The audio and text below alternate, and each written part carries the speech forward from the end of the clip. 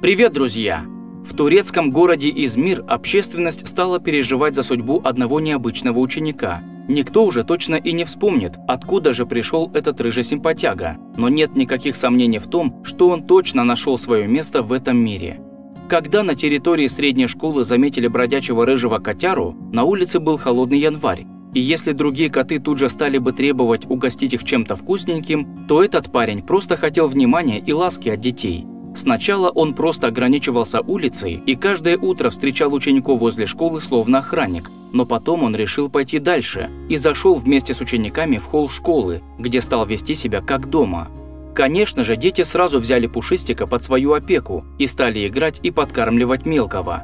Ну а тот, в свою очередь, своим видом показывал, что всеми четырьмя лапами готов взяться за свое образование. Это случилось, когда он случайно забрел в кабинет третьего класса прямо во время урока математики и почему-то решил для себя, что это место вполне можно назвать своим новым домом. Пока учительница Озлем Пинар объясняла у доски новую тему, Пушистик заглянул через открытую дверь в кабинет и, немного понаблюдав за происходящим, он уверенными, но совершенно тихими шагами с поднятым хвостом прошел к первой партии, Далее запрыгнул на нее и стал смотреть внимательно на доску так, словно этот самый обычный третьеклашка просто опоздал на урок. Думаю, не нужно и говорить, что дети были в восторге от такого поведения, но все же старались соблюдать дисциплину в классе до начала перемены. В свою очередь, учительница тоже была очень удивлена появлению котика, но ничего не имела против нового ученика, а вскоре даже предложила дать ему кличку, и поддержав эту идею, все сошлись на прозвище Томби. Можете себе представить, что так продолжалось целых несколько недель, где на протяжении этого времени кот жил в средней школе и всегда возвращался в свой любимый кабинет математики. Ну а учителя даже заметили, какую пользу он приносит для учебной дисциплины, ведь при появлении его в классе дети старались вести себя очень тихо, во-первых, дабы не спугнуть необычного ученика, а во-вторых, чтобы не мешать ему впитывать новые знания – ведь Мурлыка так внимательно наблюдал за учителем и учебным процессом, что вскоре у него даже появилась своя графа с именем и оценками в школьном журнале. Ну и естественно, за свое поведение и активность там всегда стояли пятерки. Вот уж никто не ожидал того, что когда наступит утро, ученики с нетерпением будут бежать в класс математики и ждать, когда же на уроке появится Томби, но и само собой последний всегда приходил на занятия вовремя, хоть и сделать это было очень непросто, поскольку для того, чтобы добраться до кабинета, ему приходилось поздороваться со всеми детьми, которые гладили Мурлыку в коридорах. Конечно же, он был не против такого внимания, но жажда знаний всегда манила его в тот самый кабинет математики.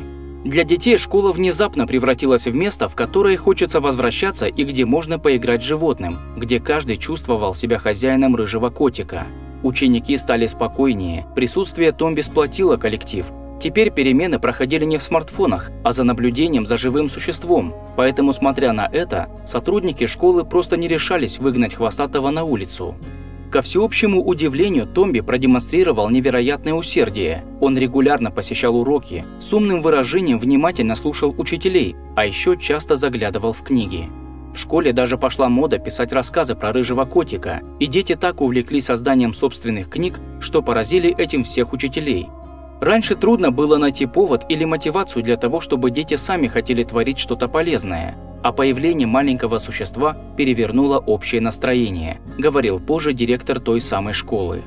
Но, увы, как часто это бывает, долго радость не продлилась, и у нового ученика начались настоящие проблемы – все дело в том, что к директору жалобой обратились некоторые родители. Их не устраивал факт присутствия грязной и уличной кошки на уроке среди детей. Тогда небезразличные люди в срочном порядке написали историю Томби в Фейсбуке с просьбой как можно скорее найти котику дом. Один из учителей даже отвез Рыжика к ветеринару на осмотр и сделал все необходимые прививки, чтобы увеличить шанс находки нового хозяина.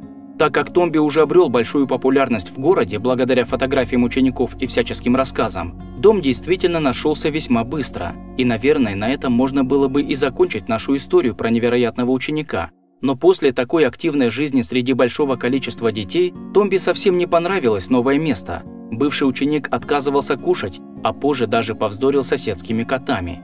Так как учительница Озлем Пинар курировала процесс передачи котика, то первой узнала про новые неприятности Томби, а когда он полностью отказался принимать пищу, ей пришлось даже забрать угасающего четырехлапого к себе домой.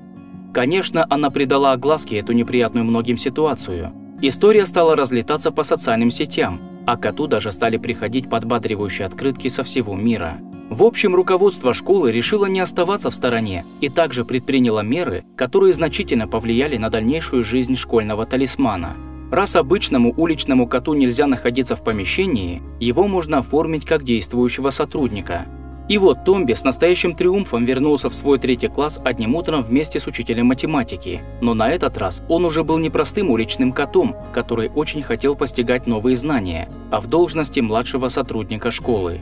Конечно же, для детей это событие стало незабываемым праздником. На очередном школьном собрании родитель, который высказывал свое недовольство, даже принес извинения, а в знак примирения подарил коту новый ошейник – Теперь уже для младшего научного сотрудника обустроили собственный уголок, но кот не изменял своей любимой традиции и продолжал кочевничать по всей школе, с интересом наблюдая за детьми и выполняя свою важную миссию – дарить радость всем окружающим. Спустя несколько недель за выдающиеся результаты в учебном процессе Томби пошел на повышение и официально получил должность директора третьего класса. И именно так простой уличный кот, благодаря своей заинтересованности и усидчивости, стал работником образования, а школьные психологи даже составили целый список из причин, по которым нахождение животного в классе является не просто милой забавой, но и настоящей терапией для детей. Сейчас Томби все так же продолжает трудиться в школе, где каждое утро встречает учеников, а после этого заходит с ними в кабинет и отвечает за атмосферу и порядок на уроке. Он тщательно проверяет их тетради, и смело можно сказать, что получает свой хлеб он не просто за красивые глаза, ну или же, если можно так сказать, за красивые усы и хвост. Зарплата директора третьего класса идет на покупку корма и вкусняшек, и в целом котяра доволен тем, что все-таки ему удалось найти свое место под солнцем. Друзья, а как лично вы относитесь к появлению Рыжика на уроке? Ну и в целом к такому работнику школы? Обязательно пишите свое мнение в комментариях, ну а на сегодня, пожалуй, это все. Оценивайте видео, если оно вам понравилось. И до скорого. Пока.